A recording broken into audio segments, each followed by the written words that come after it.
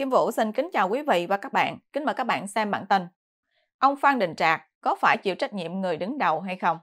Ngày 27 tháng 6, BBC Tiếng Việt nêu vấn đề ông Nguyễn Văn Yên bị bắt, ông Phan Đình Trạc có chịu trách nhiệm người đứng đầu hay không?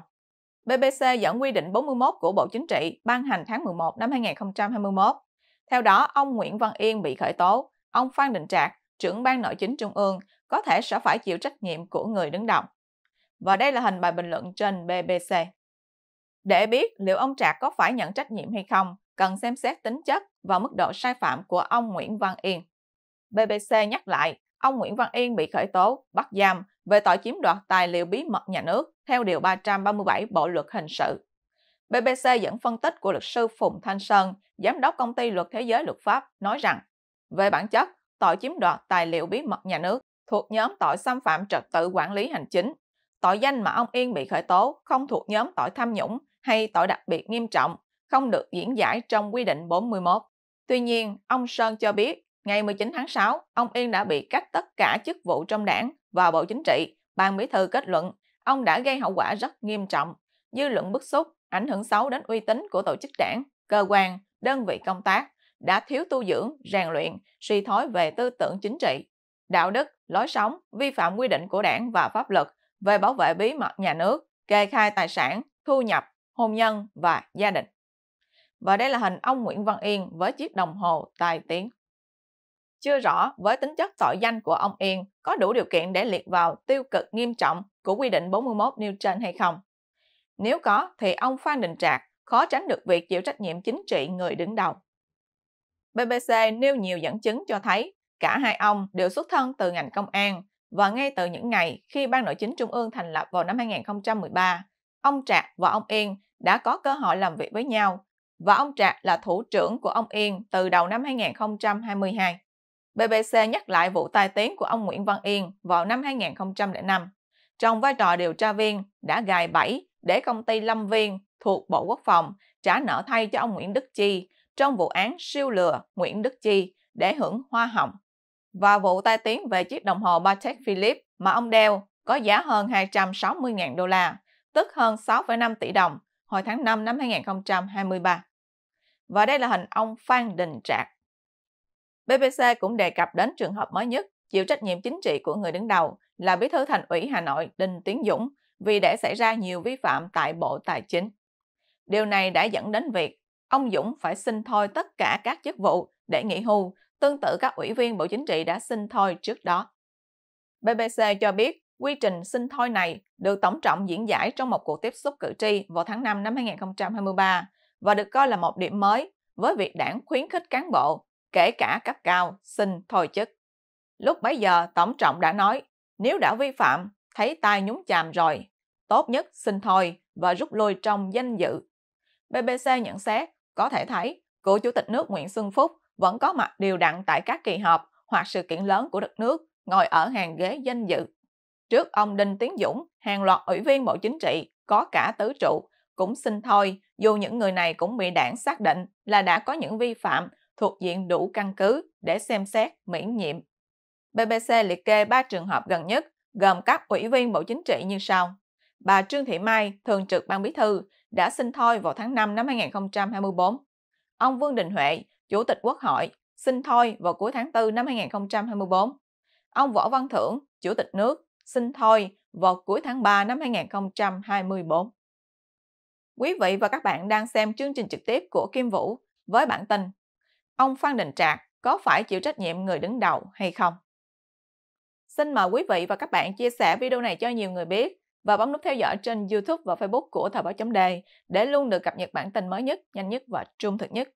Kim Vũ xin kính chào các bạn và hẹn gặp lại các bạn trong chương trình lần tới. Kim Vũ xin kính chào quý vị và các bạn, kính mời các bạn xem bản tin. Nhân vật nào sẽ ngồi vào ghế bí thư thành ủy Hà Nội? Ngày 26 tháng 6, BBC Tiếng Việt bình luận, bí thư thành ủy Hà Nội, ai thay ông Đinh Tiến Dũng? Theo đó, ngày 25 tháng 6, Hội nghị lần thứ 18 của Ban chấp hành Đảng bộ thành phố Hà Nội khóa 17 thông báo quyết định của Bộ Chính trị phân công bà Nguyễn Thị Tuyến, Ủy viên Trung ương Đảng, Phó Bí thư Thường trực, điều hành thành ủy Hà Nội cho đến khi chính thức có bí thư mới theo quy định. BBC nhận xét, Điều này cho thấy Bộ Chính trị sẽ chọn một người khác thay cho ông Đinh Tiến Dũng. Vậy ai sẽ là ứng cử viên sáng giá? Theo Điều 6 Quy định 80 năm 2022, thì Bộ Chính trị có quyền chỉ định nhân sự cho ghế bí thư thành ủy Hà Nội khi cần thiết, không cần phải trình Ban chấp hành Trung ương đảng. Và đây là hình bài trên BBC. BBC nhắc đến ba đời bí thư thành ủy Hà Nội gần nhất, gồm ông Hoàng Trung Hải từ năm 2016 đến năm 2020, ông Vương Đình Huệ từ năm 2020 đến năm 2021 và ông Đinh Tiến Dũng từ năm 2021 đến năm 2024 đều được coi là những nhà kỹ trị, tức có chuyên môn, học vấn về kỹ thuật, học kinh tế và có quá trình công tác trong các lĩnh vực này. Nếu xét tiêu chuẩn vừa hồng vừa chuyên, thì ba bí thư thành ủy này đều hội đủ. Theo BBC, giai đoạn trước đó từ năm 2000 đến năm 2015, các bí thư thành ủy Hà Nội là ông Nguyễn Phú Trọng, nhiệm kỳ năm 2000 đến năm 2006 và ông Phạm Quang Nghị, nhiệm kỳ năm 2006 đến năm 2015 là những người hồng hơn chuyên. BBC đề cập đến việc sau sự ra đi của ông Đinh Tiến Dũng, Bộ Chính trị hiện còn 15 người. Trong đó có 4 gương mặt được bầu mới vào ngày 16 tháng 5. BBC dẫn nhận định của giáo sư Abuja từ Đại học National War College tại Mỹ cho rằng nhìn vào những gương mặt mới được bầu này, cho thấy đảng đang rất lo lắng về công tác huy động quần chúng và sự kiểm soát của đảng. Theo giáo sư Abuja phân tích rằng, ba trong bốn ủy viên Bộ Chính trị mới được bầu, ngoại trừ ông Lê Minh Hưng, đều không có kinh nghiệm trong quản lý nhà nước hay trong lĩnh vực kinh tế, nghĩa là hồng hơn chuyên.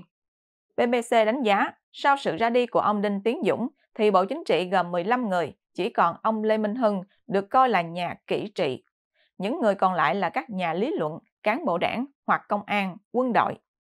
Như vậy, nếu đảng quyết định chọn người vừa hồng vừa chuyên ngồi vào ghế bí thư thành ủy Hà Nội thay ông Đinh Tiến Dũng, thì ông Lê Minh Hưng là một lựa chọn khả dĩ. Và đây là hình Bộ Chính trị khóa 13 đầy biến động.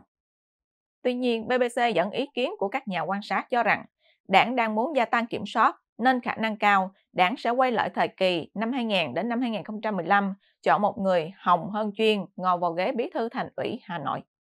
Xét các ủy viên Bộ Chính trị hiện nay, ứng cử viên tiềm năng hội tụ đủ các tiêu chuẩn là ông Đỗ Văn Chiến, Chủ tịch Ủy ban Trung ương Mặt trận Tổ quốc Việt Nam. BBC cho biết, mặc dù ông Chiến học trường nông nghiệp và có thời gian làm ở doanh nghiệp nhà nước, nhưng cơ bản quá trình công tác của ông chủ yếu là công tác đảng. Do đó, ông được nhiều nhà quan sát xếp vào nhóm hồng. Vẫn theo BBC, ông Đỗ Văn Chiến sinh năm 1962, quê ở huyện Sơn Dương, tỉnh Tuyên Quang và có trình độ cử nhân nông nghiệp. Xét tiểu sử của ông, có thể thấy ông không có nhiều kinh nghiệm lẫn chuyên môn để điều hành một thành phố lớn như Hà Nội. BBC cho biết thêm, bên cạnh ông Chiến, một số nhân vật khác trong Bộ Chính trị cũng có thể được chọn ngồi vào ghế bí thư thành ủy Hà Nội là trưởng ban dân vận Trung ương Bùi Thị Minh Hoài, nhưng cũng là hồng hơn chuyên. BBC dẫn nhận định của tiến sĩ Nguyễn Khắc Giang trên trang Forum của Viện Nghiên cứu Chính sách Singapore. Theo đó, nhìn chung, số lượng ủy viên Bộ Chính trị là những nhà kỹ trị ngày càng giảm, làm dấy lên mối lo ngại về khả năng của Việt Nam trong việc giải quyết các thách thức nhiều mặt, từ các vấn đề kinh tế đến chuyển đổi năng lượng và chính sách đối ngoại. Quý vị và các bạn đang xem chương trình trực tiếp của Kim Vũ với bản tin Nhân vật nào sẽ ngồi vào ghế bí thư thành ủy Hà Nội?